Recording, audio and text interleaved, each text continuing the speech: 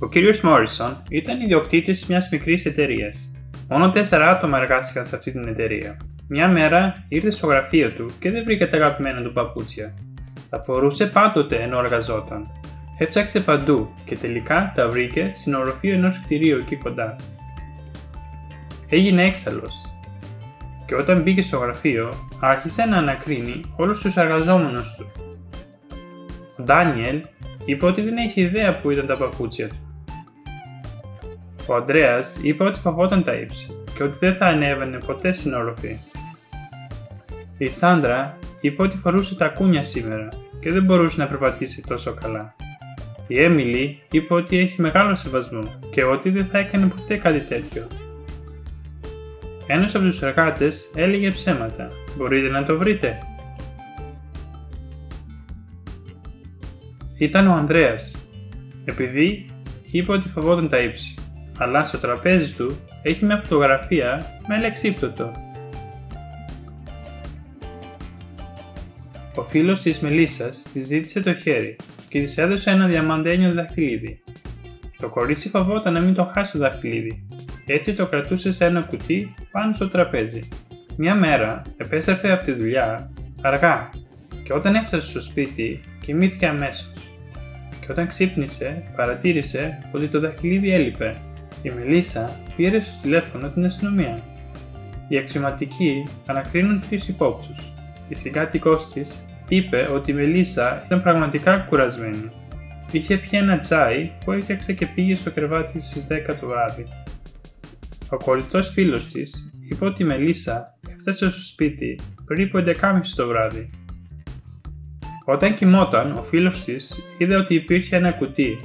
Είδε ότι ήταν άδειο και ότι είχε φύγει από το δωμάτιο. Και η γειτόνισά της είπε ότι ήθελε να πάρει ένα βιβλίο από τη Μέλισσα, αλλά όταν της τηλεφώνησε δεν απαντούσε. Η αστυνομία τους ρώτησε τι έκαναν το προηγούμενο βράδυ.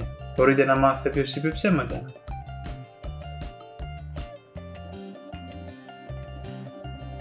Ήταν ο φίλος της, γιατί η αστυνομία μονάχα τους ρώτησε τι έκανα. Εν τω μεταξύ, ο ίδιος είπε την ιστορία με το κουτί του δαχτυλιδιού.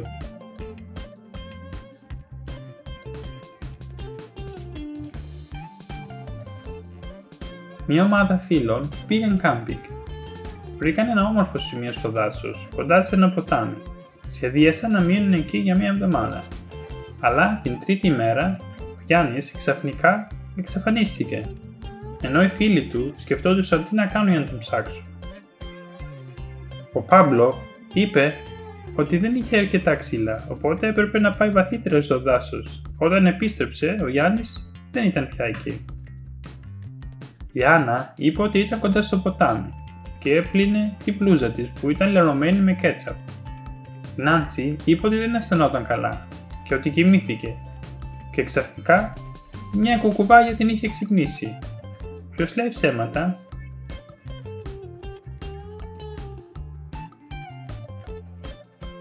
Ήταν η Νάντσι, επειδή οι κουκουβάγιες κοιμούνται κατά τη διάρκεια της ημέρας και μένουν ξύπνοι μόνο τη νύχτα. Κάποιος είχε ανάψει το φυσικό αέριο στο διαμέρισμα του Όλιβερ. Κάλεσε αμέσως την αστυνομία μετά την αναζήτηση του μέρους, βρέθηκε ένα ρολόι. Ο Όλιβερ είπε ότι δεν ήταν δικό του. Το detective του είπε ότι το ρολόι φαίνεται ακριβό και έτσι ο εγκληματίας θα επέστρεφε για να πάρει ξανά το ρολόι. Μετά τα μεσάνυχτα, άκουσαν την πόρτα να ανοίγει. Ένας άντρας μπήκε. Είχε ένα κερί στο χέρι του. Στην αρχή, ο detective ήθελε να συλλάβει τον άντρα. Αλλά συνειδητοποίησε ότι δεν ήταν ο εγκληματίας. Όσο κατάλαβε ο detective,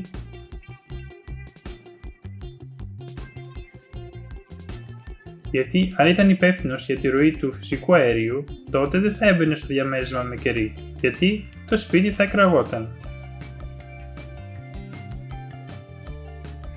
Η αστυνομία έλαβε πληροφορίες ότι μια τράπεζα θα ληστηθεί. Ένας αστυνομικός πήγε στο εστιατόριο όπου οι συμμορίες συναντούσαν συνήθως και έκαναν σχέδια για τις κλοπές τους. Ο στόχος του ήταν να βάλει μια συσκευή παρακολούθησης GPS που παρακολουθεί τις κινήσεις της ομάδας για την πρόληψη της ληστείας. Ο αρχηγός της ομάδας ήταν ο κύριος επικεφαλής. Ο αστυνομικός έπρεπε να είναι πολύ προσεκτικός, επειδή ο αρχηγός ήταν πολύ έξυπνος. Ενώ τα άλλα μέλη δεν ήταν τόσο έξυπνα. Πώς πιστεύετε ότι ο αστυνομικός πρέπει να τοποθετήσει τη συσκευή GPS?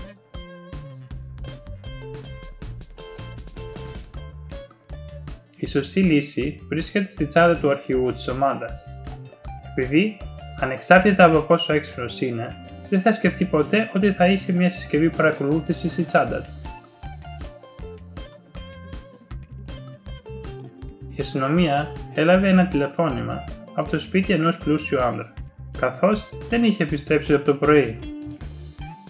Όταν η αστυνομία έφτασε στο σπίτι του, ανακρίνουν όλους τους ανθρώπους που βρίσκονταν εκεί. Η καθαρίστρια είπε ότι έφυγε και της είχε πει να ετοιμάσει το πρωινό και αυτή αμέσως ετοίμασε το πρωινό.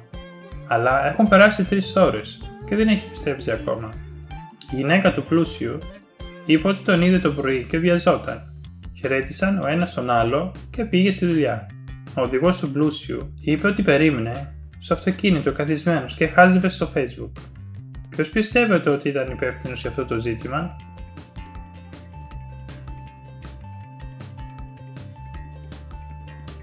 ήταν η καθαρίστρια, επειδή μετά από 3 ώρες τα μήλα γίνονται καφέ και έτσι αυτά τα μήλα δεν ήταν καφέ,